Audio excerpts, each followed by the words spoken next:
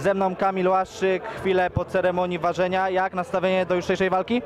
E, Pozytywne. E, Zawodnik niższy. No dobrze, myślę, że będzie wesoło. Dobra walka. Studiowaliście już jakieś, jakieś, jakieś nagrania swojego rywala? Wiesz, co się możesz po nim spodziewać?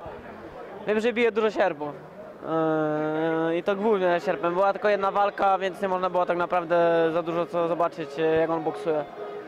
A co będzie twoim atutem w jutrzejszym pojedynku? Nie wiem, może szybkość. Ciężko mówić, ciężko mówić. Mówię to też szybkość, może, może się, się jeszcze będę, no nie wiem. Widziałem tylko jego, za- jego, jego, jego jedną walkę, więc e, ciężko to mówić.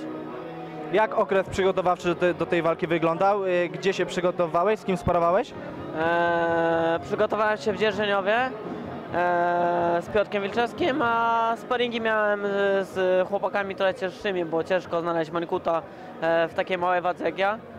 No ale były dobre, e, do, do, dobre sparingi, myślę, że będzie dobrze. Wiemy, że 7 li- y, lutego będziesz boksował w Chicago. Możesz zdradzić, z kim się zmierzysz? Bo tam słyszałem, że rywal naprawdę będzie mocny. E, Dios?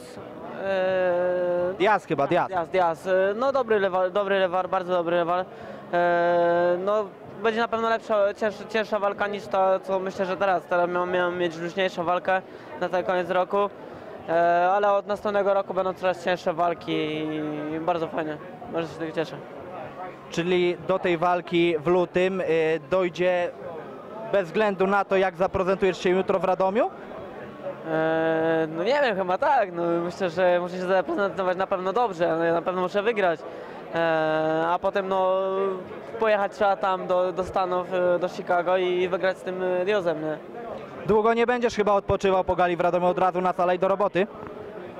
No, z tydzień czasu przerwy, odpoczynku no na pewno i potem już e, trzeba będzie trenować. E, wie- wiele, więc święta będą spokojne, na diecie i więc by- myślę, że no, tak już no, trzeba w tym sporcie.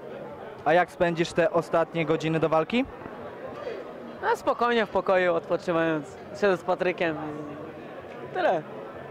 Kamil, dzięki za rozmowę, no i powodzenia jutro. Nie dziękuję, pozdrawiam wszystkich kibiców.